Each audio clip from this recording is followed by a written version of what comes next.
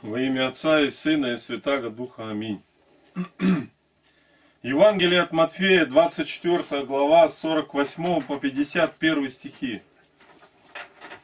Если же раб тот, будучи зол, скажет в сердце своем, «Не скоро придет господин мой», и начнет бить товарищей своих, и есть и пить с пьяницами, то придет господин Рабатова в день, который он не ожидает, и в час, который не думает, и рассечет его, и подвергнет его одной участи с лицемерами. Там будет плач и скрежет зубов. Толкование блаженного Феофилакта. Сказавши, какую почесть получит верный раб, Господь говорит теперь, как наказан будет лукавый. Если человек, которому верено распоряжение каким-нибудь даром, пренебрегает им, не боится будущего суда и говорит в своем сердце, «Господин мой медлителен», то есть не тотчас вознаграждает и не скоро наказывает, и долготерпением Божиим пользуется на зло, бьется служителей своих, то есть соблазняет их. Ибо подчиненные, замечая за начальниками дурное употребление данных им от Бога прав, соблазняются и портятся, то рассечет его, то есть лишит полученного им дара, и оставит его таким, каким он был. И будет он вержен во тьму кромешную, потому что прежде своим лицемерием он обманывал других. Как и между архиереями, многие по сану своему только кажутся святыми. Но тогда отнимется у них благодать, и они будут наказаны, как лицемеры, которые кажутся не такими, каковы они на самом деле. Окончание главы 24. Вот здесь указал архиереи и не таковые. Вот поставил Досталь фильм э, «Раскол». И там выступают там Неронов, да и они, те, которые были в кружке ревнителей, потом восстали. Они говорят правду, когда их начинают судить, отдать приставам, а их там затащали. Они правы, никто не хотел слышать. А теперь проходят столетия и говорят, да разницы никакой нету, равно спасительно, старые новые обряды. Никон Танеронова еще при жизни сказал, да служи по старым книгам, по новым, все равно. Вот. Зачем это было надо затевать? Когда я был в Америке, в Синоде, и там был один архимандрит из Греции. Ну, говорили, я говорю, а вы понимаете, вот а, раскол, это продукт ваш. Вы его обольстили, этого Никона вселенским патриархом, и что в Софии будут молиться, и то другое это. Вы Россию раскололи, да, понимаем. Я говорю, как вы ее понимаете-то? Ну, раскололи, вы понимаете. А последствия-то, они все идут сегодня. Там показывают два перста. Я доказывал, что два перста, вот, а так князь Владимир принял, Сергий Радонежский так молился, Феодосий Пещерский, князь Владимир, все так. Почему это отвергли, когда все отцы молились так? Ну а правильно это. А потом Троеперсия. Троица вообще на кресте разве Троица умирала-то? Но я старобрядцам доказал, что равно элемент ереси находится и в двуперсии, потому что Бога-человек не умирал на кресте, а умирало только человечество. Когда расскажешь это дело, как будто первый раз слышат, а что же вы академии кончаете? К тому, что ты считаешь где-то, книгам твоим, еще ум-то приложи и рассуди, как это. Почему вначале молили, совершали крестное знамя не одним перстом, как пишет Иоанн Златоуст, а одним, потому что было 500 божеств в римском пантеоне. И нужно было сказать, что Бог единый в мире. Вот мусульмане пошли этим путем. Единый Аллах, а все остальное многобожие не от Бога. Страха нет. Я вот пример хочу сказать. Вот у нас собачка, э, мы заводим ее, шарик. Совершенно беспородная, бегала тут щенок. Его взяли, приютили. Я его зову маленькая собачка с большим сердцем. Он так, так любит э, хозяев. Столько внимательных чужих обнаружит где. Он просто замечательный пес. А эти вот домашние кошки, видно, что они домашние. И вот он играет, когда молимся, он буквально по ногам сбирается, у меня все ноги тут исколоты, вот этот вот малыш. Ну вот его привязали здесь, и они сразу утихли, и туда даже не бегают, и он этот подойдет и потихоньку идет, это тоже потихоньку. А как же рыкающего льва не бояться? Он ничего не делает, не лает, просто лежит. Его присутствие создает другой настрой нашим вот этим э, мышатникам. Никакой игры здесь, чтобы бегали, крутились, корябли нет. Они, ну, его выведут сейчас, помолимся, и потому что на него было покушение. Три дня его отпаивали парным молоком, отравили враги. Вот. И одну даже белое все где-то не видать. Забьются кто куда. А как же льва-то этого не боятся? А он постоянно здесь. Как Ника не убоялся этого льва, сам как лев рыкающий был. Лупил, бил посохом. Вот и все. И далее считаем. Глава 25. С 1 по 5 стихи. Тогда подобно будет Царство Небесное десяти девам, которые, взяв светильники свои, вышли навстречу жениху. Из них пять было мудрых и пять неразумных. Неразумные, взяв светильники свои, не взяли с собой масло. Мудрые же вместе со светильниками своими взяли масло в сосудах своих. И как жених замедлил, то задремали все и уснули. Толкование. Под образом дев Господь предлагает притчу о милостыне, дабы по причине великого достоинства девства кто не стал пренебрегать другими добродетелями. Знай же, что без милостыни, хотя бы ты был и девственник, будешь извержен с блудниками. И справедливо, несострадательный и немилостивый извергается, хотя бы он был и девственник. Потому что блудника одолевает естественная неизбежная страсть, а не милостивого сребролюбие. Страсть не неизбежная и неестественная. Между тем, чем слабее противник, то и есть страсть любостяжания, тем непростительнее побежденный ею. И глуп сребролюбец потому самому, что преодолевший телесное разжение – побеждается меньшей страстью, сребролюбием. Сон есть смерть, а замедление жениха означает, что второе пришествие последует не скоро. Все толкование на это место. Вот когда начинает толковать эту притчу, вот я даже среди сектантов был, он пришла белая, выскочила. Вот. И шариком мимо лежит, все. Главный вопрос здесь о том, есть или нет в сосудах масла. Все остальное можешь ты не очень-то это обращать как бы внимание это. Дева, там 5, 10, это не столь важно. Главное, там речь идет, нет масла, нет масла, пропащее дело. Оказались за дверями. А что такое? Ну, сектанты все, многие говорят, а это Дух Святой. Вообще-то правильно. Но нигде не спрашивается количество Духа Святого, много, мало его. Нигде, ни в притчах, нигде. А почему? Проявление Духа Святого в жизни, как оно проявляется? А проявляется это в добрых делах. Я, исследуя Священное Писание, нашел, что масло – это добрые дела, тогда светит ваш свет перед людьми, дабы они, видя ваши добрые дела, прославили Отца вашего Небесного. Вот. Дабы вот это означает масло, добрые дела, соделанные в Духе Святом с любовью. Потому что о любви вопрос спрашивается, и кто Духа Христова не имеет, тот не его.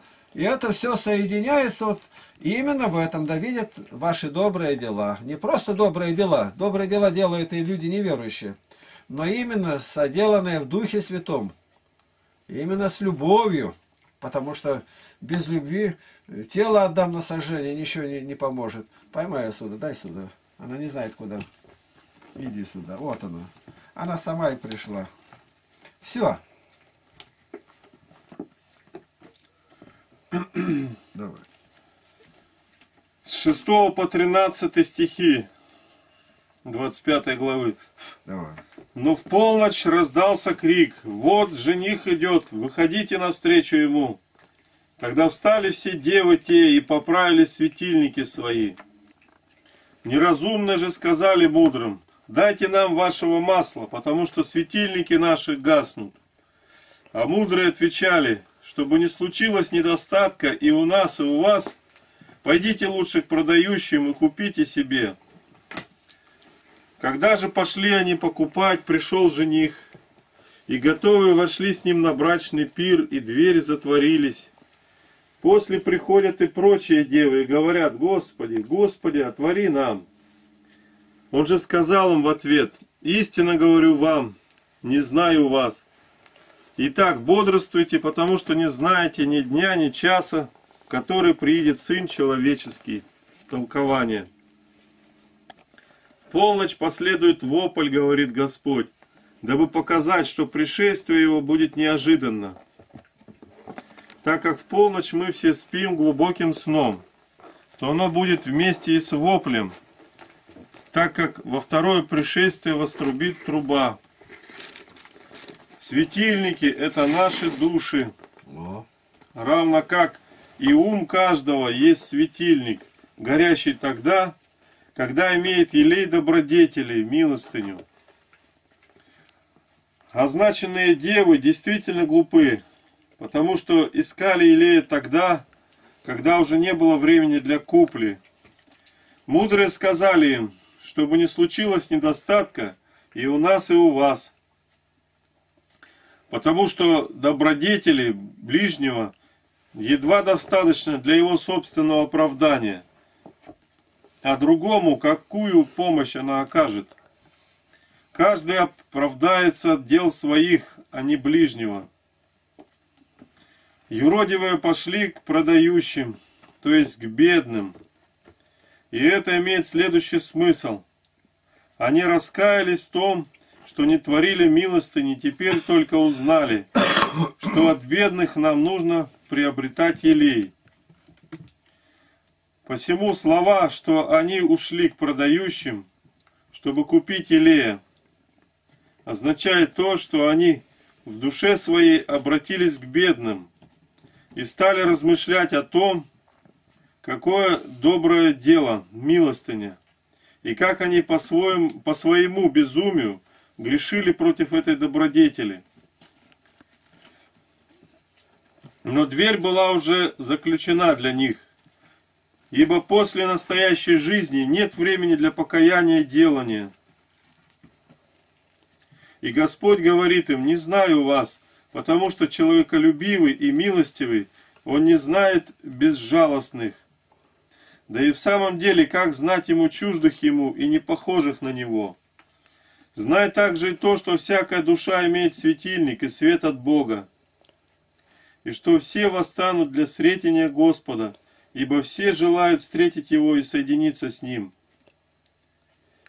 Но тогда, как Бог дает свет и озарение, мудрые души подливают к нему елей добрых дел, а у юродивых, оставляющих светильники без елея от нерадения, они гаснут, и эти души отвергаются, как не имеющие добрых дел, которые могли бы возжечь находящийся в них свет. Итак, если мы не делаем добра, то угошаем себе свет Божий. Видите, о том, что говорят Дух Святой, как просить Дух Святой, дай ты мне Духа Святого. В жизни такого не бывает, надо реально. А добрые дела, вот милостыню и прочее, да пытаются еще после смерти подавайте милостыню, это толкование на деяния апостолов, пятой главе Иоанн Златоуст это тоже поясняет. Но это неплохо, кого-то накормить. Даже это все во имя Христа делается. Господи, облегчи и участь, если можно. И это неплохо. Людей кого-то накормят. Бедных. Это добрые дела, соделанные в Духе Святом и с любовью. Я это нашел, вот это выражение здесь. У меня есть э, очень много наработок собственных таких. Вот приходит, когда у человека уныние, И вот начинает объяснять, как приходит оно прилог, самая суть, вот как писать проповедь. Сначала введение, центральная часть, окончание. Святые тщательно разобрали. Ну а что такое уныние? Я отвечаю, уныние это плохо сделанная работа. Да неужели это? Ну да, ты плохо делал, у тебя не получилось, и ты унываешь. Плохо молился, результата никакого нет, Бог не отвечает. Конечно, наград много на земле, но когда люди обращают внимание на твою молитву и к тебе обращаются, зная, что твоя молитва помогает, молитва, Бог помогает, ну так принято, что в житиях святых, зная, чью молитву Бог слышит, люди обращаются, помолился, чтобы он дождь был и прочее. Вот это воздаяние тебе уже здесь за труды, это уже награда. Ты видишь, что люди осознают, что получаешь ответ. Вот у меня это было многократно, и вот у меня сейчас очень близкие отношения здесь установились э, с Серафимой Гавриловной Плотниковой, ей 87 лет. И вчера нужно было, нам яблоки собираем, хорошие такие яблоки у нас выросли, ни у кого таких в деревне, оказывается, нет, в лагере. И как правильно их законсервировать? Пошел Ирина, толком не знает, послала к Любе. Люба говорит, идите к Серафиме, а у нее много банок, и они ни одна не пропадает. Я пришел, у нее там выставлено, все заставлено этими банками, как раз с яблоками. Я стал спрашивать, она подробно рассказывает, мне уже идти надо, но виду не даю. Как рядами их выстроить, как обрабатывать банки, как все такое. Все сказал, это любовь ее. Вот, как, вот она именно проявляется в этом. Я иду, так она еще дорогой закричала, вот это вот так-то, такой-то температуры, вот держать, потом слить, потом заново. А тут дождик начался, я уже приехал, дождик есть. Проходит какое-то время, я тут съемки веду. Слышу, кто-то вроде стучит. Плохо слышу, правое ухо меня вообще не слышит. А левое повреждено тоже, там механические повреждения. Я подошел к дверям. Кто? Никого нету. Открыл дверь, нету. Я своим делом опять занимаюсь, снимать начал. Ну, слышу, кто-то стучит в окно. Посмотрел, она стоит на дожде. Башлыком накрыта. Ну, я пока оделся, вышел, она стоит. Я че пришла? А на другом конце деревни живет-то. Это не 200 метров, побольше. Она пришла досказать, что она не досказала. Вы обязательно банки мне принесите, и яблоки я сама законсервирую вам. Вот это любовь. А уже похолодание, я взял ее за руки, а руки как лед холодные. И она по дождю пришла сюда. Ну вот прикинь, кто из нас это видел такое делать? Я к ней приехал. И она каждый раз добавляет, вы только за Васю молитесь. Внук ее Вася. Вася учится в медицинском университете, и вот он сдает, и, и бывает даже тройку получает. А бывает там пересдают, она бабка все знает, никогда не знала против интернета, а тут пришла и расспрашивает, что такое интернет, а что там показывают, почему он мне не все показал и то другое. До того интересно для меня, я виду не показываю, это правильно. Вот понимаете, я думаю, вот Вася хирург будет то другое, а душу он не погубит. Я гляжу, он меньше молится там или что-то, и опять ко мне. Вы уж только молитесь, молитесь за Васю. Ох, а ну как он погибнет. Вот вот это масло. Она пришла с маслом. И она в храме стоит. Я ни разу ее никто не видал, чтобы она сидела. А сегодня 14 лет, 15 лет, и другие падают. Только начинается богослужение, уже ковыркнулись, сидят. На поле пашут тут есть такие, как трактор. А в храм приходят отдохнуть. Не напряженно. Даже поземнуть правильно не могут. Вот рот-то закрой, чтобы другие не видели. Это заражает других. Даже ты один, когда дома, не позволяй себе. У нас была норма в лагере раздавать пряник, пряник пополам, пол пряника. Потому что пряник это не еда, а деликатес для рожования. Я один дома, и охота съесть. Но я этот содержу дома то же самое, потому что это перед Богом. Вот видишь, как они любят. Вот пришла, ей неудобно лежать здесь. Но она легла, пришла на валенке легла. Легла, провалилась наполовину, усыпилась. Что это означает? Это доверие.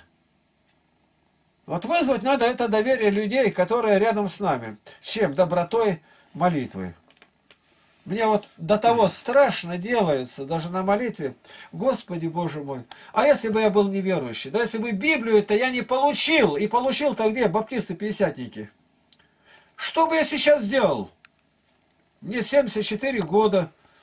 Ну, какие-то там немощи, болезни у меня ни одной нет никакой. Я, я не болею, я умею болеть, тайны никто не знает. То есть оно, ну, а, организм стареет где-то. И что бы я делал здесь? С угла в угол слоняться? Телевизор смотреть? А у меня регулярно, сейчас не пройдет, на молитву, благодарю Бога, открою Библию, готовлюсь э, к занятиям. Это опустошенная чужая жизнь. Даже со стороны смотреть страшно. Во-первых, организм работает правильно. Поехал, позвонил главному редактору районной газеты, потому что 16 сентября у нас по Теряевке престольный праздник святого мученика, епископа Анфима Никомедийского. Это 302 год вот. Ее пригласил, потому что здесь был корреспондент Ретунский Владимир Васильевич. Ну, книги она не увидела, но слышала, потому что он их уже унес, она была в городе. Вот. Ну, я говорю, приезжайте. Ничего не сказал, но думаю, подарю я ей хотя бы к истинному православию. Потому что доброе расположение, и это как-то... Это все масло, это наше масло. Как бы это масло-то имел? А меня Бог на этом послал. У нас в семье 10 человек был, отец инвалид войны. И вот я поехал учиться в технику, меня просто выгнали из дому. Иди учись. Я не хотел дальше учиться, я лошадей пас. Я ну, люблю лошадей сильные. Ну и вот дали мне доехать. До Барнаула билет стоил 2 рубля 30 копеек. Дали там 3 или 6 рублей. Иди там на квартиру устройся, знакомые есть. Иди поступай. Куда поступать? Чего? Отец с матерью полкласса не кончили. Сдал экзамен в сельскохозяйственный институт, отдел механизации, а потом документы забрал. Почему? Учиться 5 лет. Это 5 лет. Родители от меня ничего не будут получать. Побежал за водой, там хозяйки, у которых остановился. Они говорят, а мой сын поступил в техникум. А я слушаю. Поступил, и там два с половиной года учиться. Это в два раза меньше. Я узнал, где это техникум, побежал в институт, документы забрал, и по этим экзаменам, сданным в институт, меня приняли в техникум. Приняли, и я не жалею всю жизнь. Я был с хлебом везде. Я печник, плотник, дачи людям делаю, свободное от работы время. Свободное, называлось шабашка. Вот. И вот я к чему говорю, что с детства родители э, приучили давать милостыню. Отец пойдет пасти, когда овечек пасут. Он давал обед. А там уже узнали, что если я пропасу, овечки не потеряются, то полбарана я отрублю, и беспризорные бабушки были, бе, ну, безродные, как называют их. Вот. И, и он разрубит мясо, и мы растаскивали им, чтобы мы несли, не, они не пойдут, наши родители, а мы привыкали. И я любил бабушек. Бабушек любил, не знаю как. Вот сидят там нищие где-то, я подойду, там поговорю, там выгнали кого-то. Я из этих э, давали в то время, это уже большие деньги были. 36 рублей у меня была стипендия. 36. 20 отдать за квартиру, 16 прожить, купить книги, съездить домой. А домой как? На вагоне ездил, все время на крыше. Нет денег-то где-то. И вот эта милостыня, а накоплю копейки-копейки, подойду бабушке подам. Я теперь все расследую. Это не мое, это Бог делал так. И чьи-то молитвы меня достигли. После армии я поехал сам не знаю куда. Просто хорошие у нас были люди в армии, латыши. Я подумал, мне надо в Латвию, там хорошие люди, работящие, всегда спокойные такие. Мне сильно это нравилось в людях. И там меня Бог нашел 27 сентября 1962 года, улица Карла Розенберга, 18 Еремеев, Михаил Александрович Еремеев. И Анна Матвеевна. Там я получил в руки Библию, там получил потом, но Евангелие подарили, потом Новый Завет, а уже я работал на корабле, поступил в высшее мореходное училище. Это милостыня, вот это масло, капельки масла, я это свидетельствую перед людьми. Я так думаю, с чего ради меня Бог избрал-то? В семье 10 человек, а меня одного Бог избрал. Через меня мама обратится, отец умрет по-христиански, брат сделается священником. Это вот любовь к нищелюбию. Потом я это найду у блаженного Феофилакта. Хвалящийся хвались Господом. Я хвалюсь этим моим Господом, что Он услышал чью-то молитву. И определение нашего отношения к Богу, имеем ли мы масло, так как часто к тебе обращаются люди, чтобы ты помолился. Имеешь ли ты это масло благодати Духа Святого связи с Богом? И Господь через это других научит творить милостыню. И вот это я Серафиму Гавриловну, это понимаешь, как вот все это вместе вспоминается, и все это капли масла. Милостыня. Вот я, я не могу не рассуждать, я заканчиваю жизнь за бугром уже. Дальше.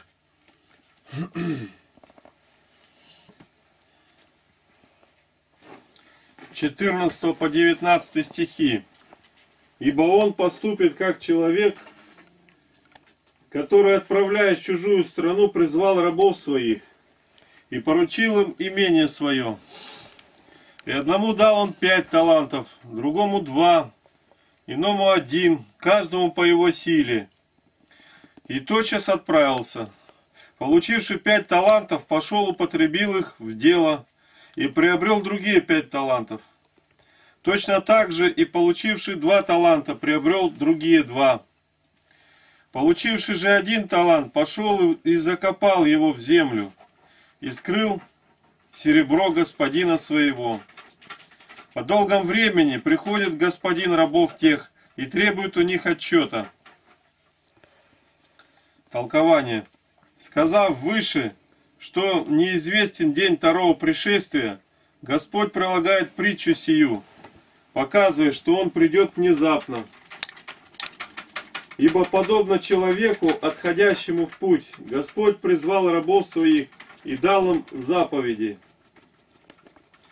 Отходящим же называется соделавшийся для нас человеком Христос, или потому, что вознесся на небеса, или по той причине, что долготерпит, не вдруг требуя от нас, но ожидая отчета.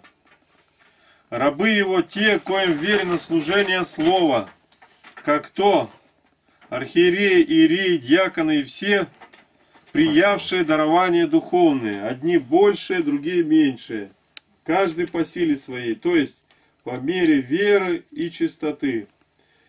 Ибо какой сосуд представлю я Богу, такой влагает он мне дар свой.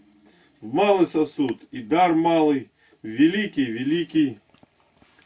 Приявший пять талантов, тотчас отошел и стал трудиться. Такова тщательность его, что он ничего не пренебрег, а тотчас стал трудиться, удвояя принятый дар. Удвояет же данный ему дар тот, кто, получив или дар слова, или богатство, или власть, или иное какое знание и способность, приносит пользу не себе только, но старается быть полезным и для других. Напротив, закопавший талант в землю есть тот, кто думает об одной своей пользе, а о пользе других и не помышляет, за что он будет и осужден.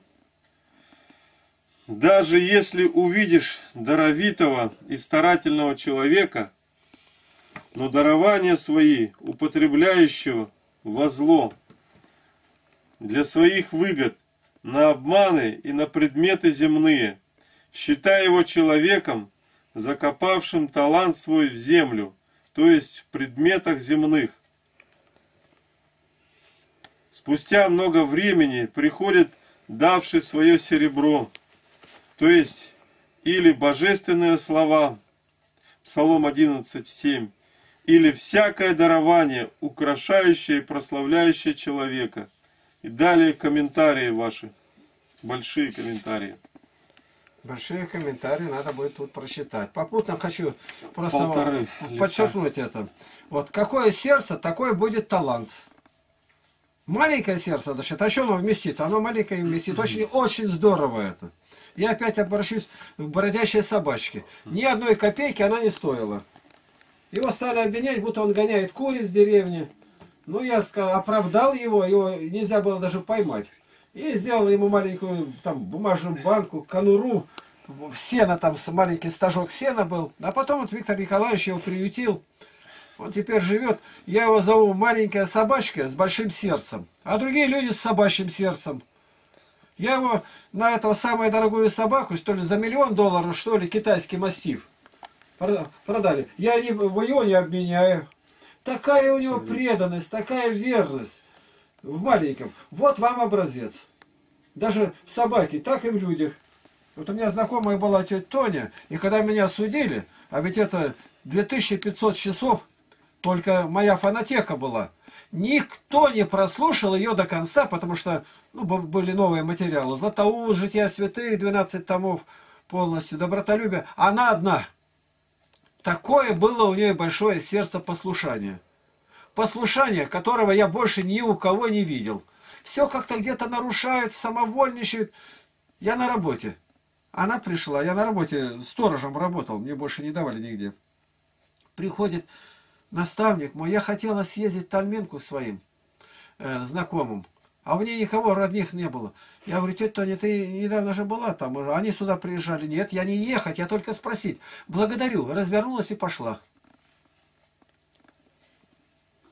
Где бы что ни делали. Мы приехали в Караганду, и когда узнали ее биографию, ее отдельно там вызвали, э, баптисты, там адвентисты были, и решили ей дать денег – она говорит, я деньги-то возьму, а потом я куда? Как куда? Ну вы же едете с ними в Москву. Да ко мне наставник мой сказал, что если я у кого что возьму, то поедешь домой, с нами уже ты не поедешь. Вот как Косьма и Дамиян, там ни у кого ничего не брать, у меня тоже это правило было. И они сразу отступились и другим стали передавать вот это да, вот это послушание. И она дорогой едем, что-то где-то говорит, а я записываю, столько у ней было искрометной мудрости. Вот эта Валя Барышникова с нами ездила. И у ней постоянно было непослушание. Она только головой покоит. Ох, Валя, Валя, что же ждет тебя при таком непослушании? Ну что, полное крушение, падение. Ну, вот пришла, приняла крещение спустя там 20 с лишним лет. Она это видела. Ее спящей я ни разу не видел. Тетя Тоня. Бакланова Антонина Георгиевна. И она не дожила 10 дней моего освобождения, умерла. Ей тогда 75 лет было. Вот как память. У ней постоянно елей был. Она то свечи делает, то щетки, щетка это вот э, лежит здесь. Вот. Покажи-ка ее мне там. Это она делала вручную. Можешь одной рукой поднять и показать. Четки эти. Она жития святых все знала к ней приезжали, спрашивали даже, вот, э, родители присылали, ну, познакомились, юноша с девушкой, можно ли им жениться, подходят они друг для друга или нет. Она их побеседовала маленько и сразу же говорит, нет, они совершенно не подходят друг другу. Ну, а для проверки присылает ко мне. А те говорят, священник благословил. Да священнику разницы нет. Венцы все время надраенные. Да еще на голову-то не наденут, а так подержат. Вот елей, где я этот елей видел. Елей милосердия, какие она советы давала, это елей, текущий из нее, медовые уста. И как она строго могла разговаривать. Вот надо в жизни это все увидеть. И далее комментарии. Начиная с грехопадения в раю, человек по наущению дьявола пытается улучшить, в кавычках, замысел Божий в отношении самого себя, подправить, сделать более совершенным Слово Божие. Исайя 55, 8, 9. «Мои мысли не ваши мысли, не ваши пути, пути мои, говорит Господь.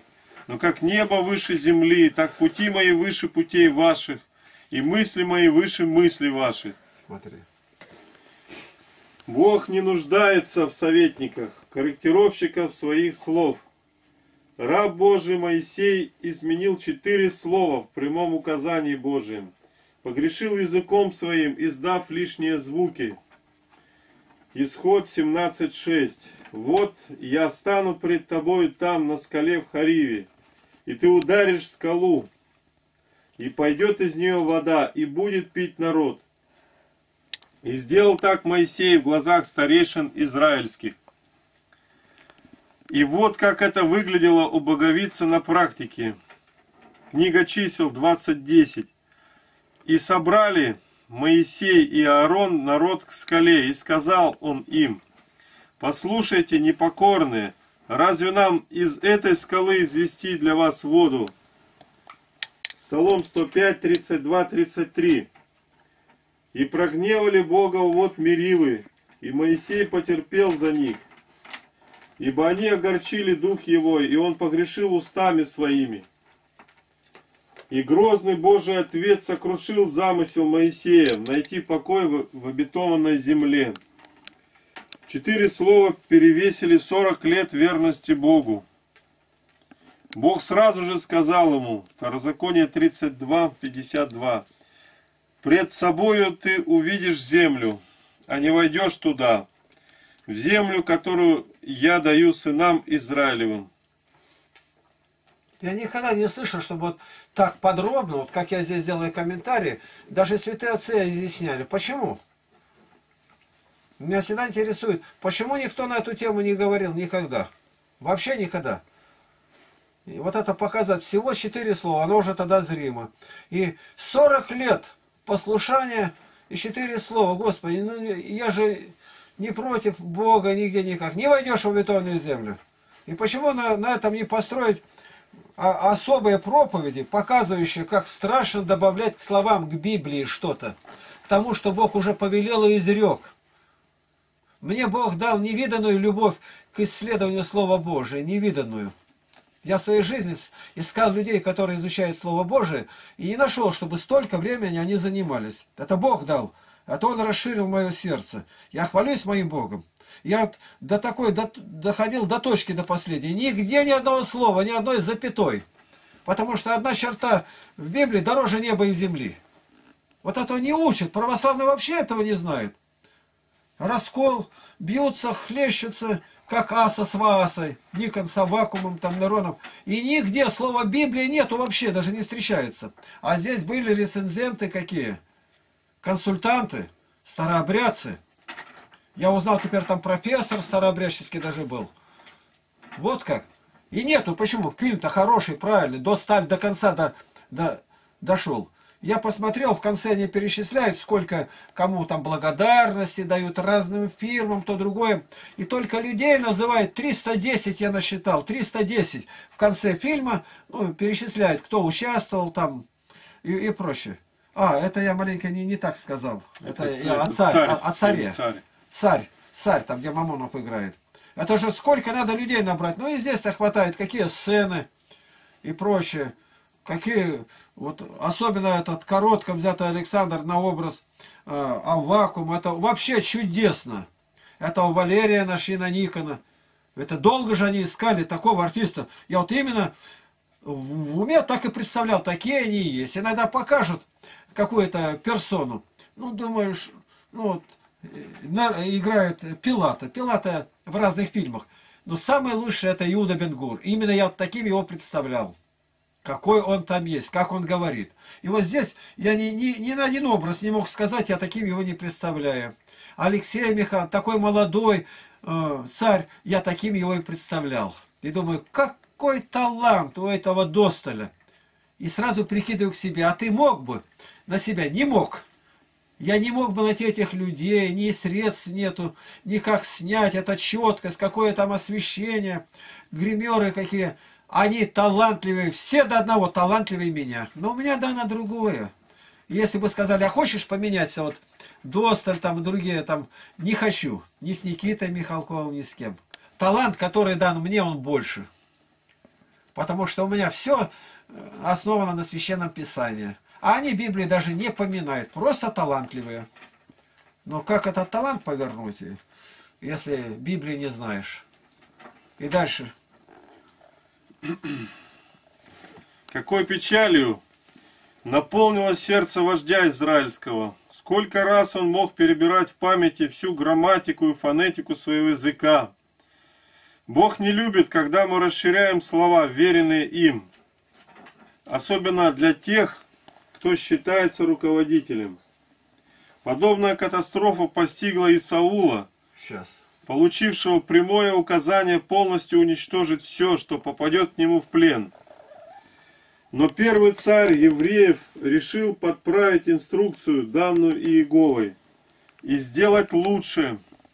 Лучше скот принести в жертву не чужому, но своему любимому Богу Саваофу. И Бог мгновенно отверг его, и притом навсегда, хотя тот и раскаивался. Первая книга Царств 15.23. Ибо непокорность есть такой же грех, что волшебство, и противление тоже, что идолопоклонство. За то, что ты отверг слово Господа, и Он отверг тебя, чтобы ты не был царем над Израилем.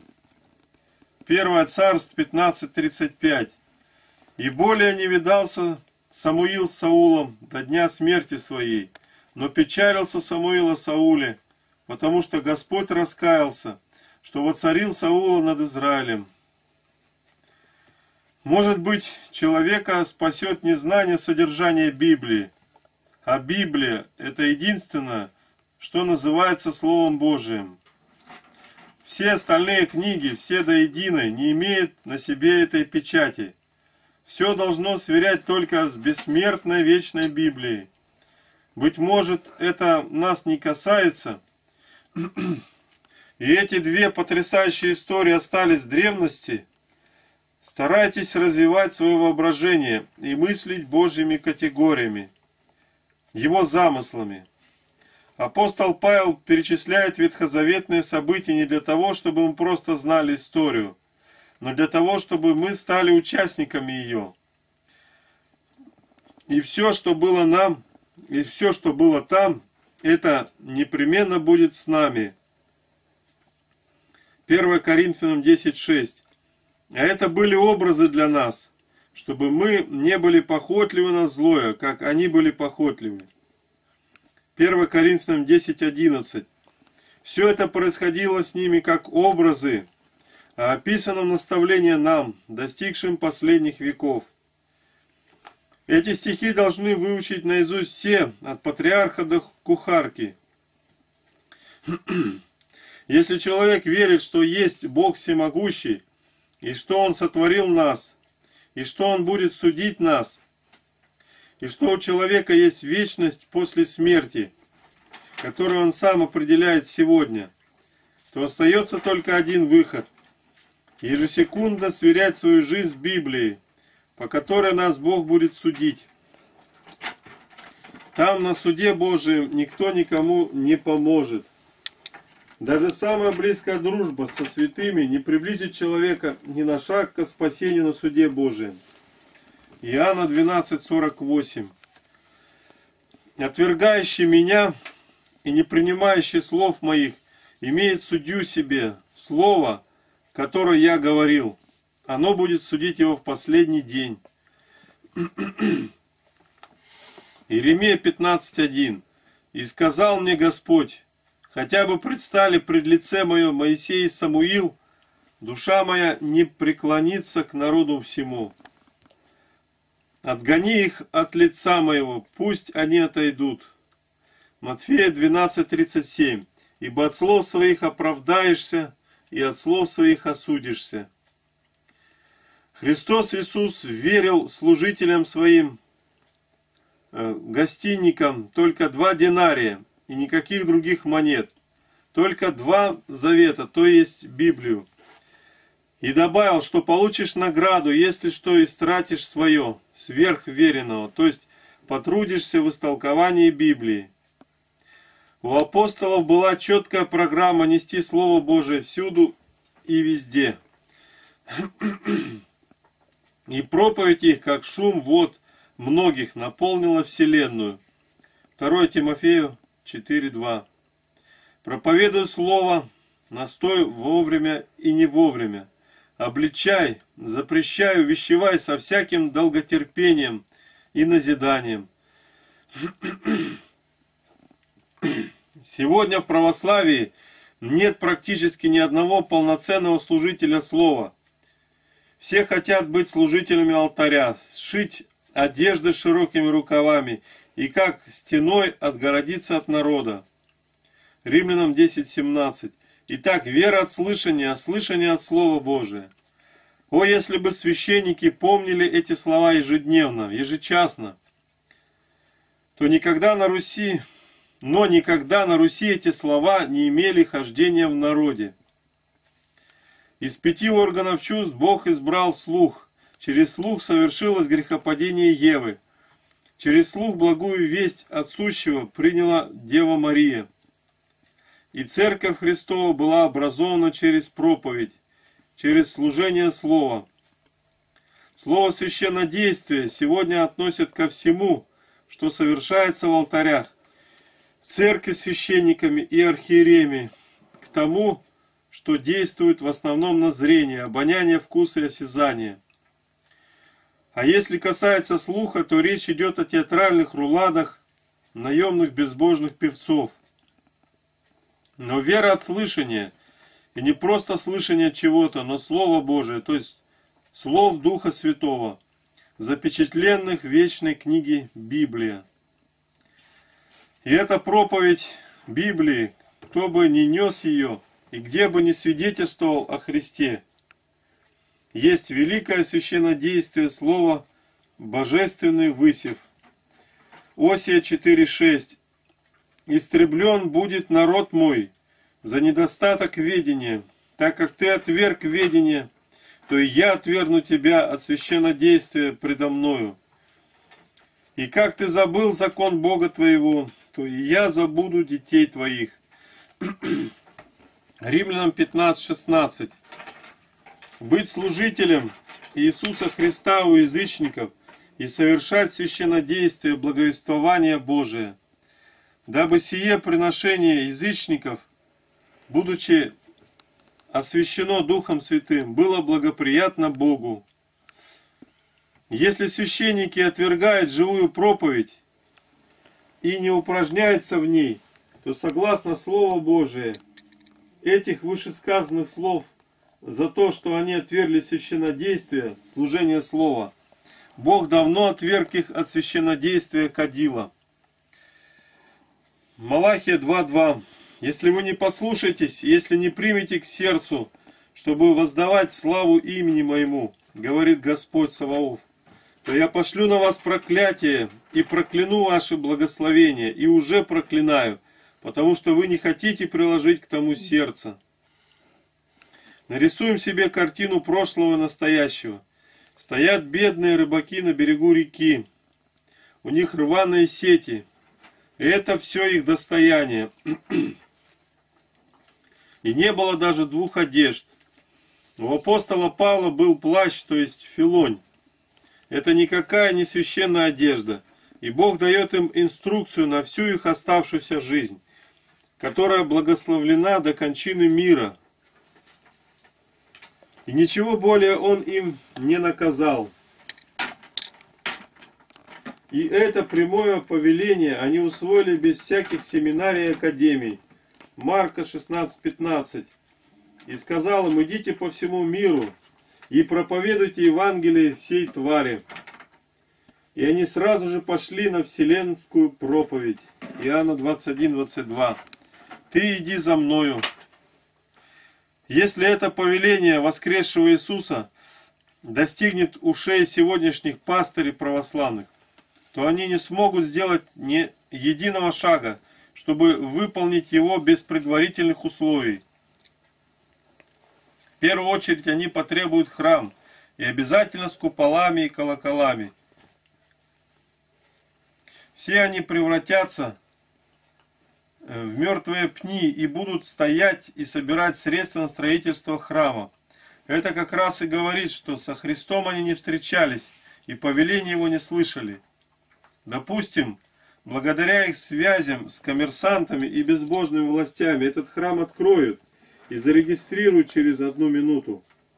Они сразу же выдвигают другое условие. Нам нужны иконы, роспись, а еще лучше откровение о явлении какой-нибудь иконы. Как у Святогорского монастыря при могиле Пушкина, блаженному отроку Тимофею. Это место явления иконы и обозначит, где быть храму. Нам сразу же нужны будут кадила, свечи, ризы, типиконы и прочее, прочее. Полный реестр сегодняшнего оборудования храмов. Повеление Божие еще и не начиналось выполняться, идите по всему миру. Все делается пока только для того, чтобы закрепить свое стояние на одном месте. Превращение в столпников с больными ногами. Быть служителями Слова и нести его миру, эту заповедь Божию в России – услышали едва ли 10 человек за 10 столетий. Стефан Пермский, Иннокентий Московский, Николай Японский, Макарий Глухарев и их помощники. Все остальное, что было на территории Россия от первого Владимира до сегодняшнего Владимира. Не евангельский путь, не по Слову Божию. Храмы и все необходимое для богослужения должно появляться после обращения людей, после живой проповеди. А этого не было. Нет и, похоже, никогда не будет, потому что Библия у православных позабытая, позаброшенная книга.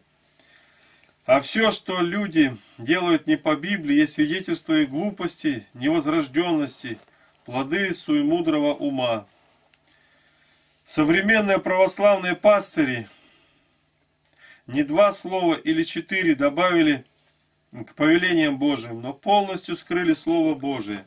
Восстали против благодати, призывающей, и против благодати обращающей, пытаясь все сконцентрировать на благодати освящающей.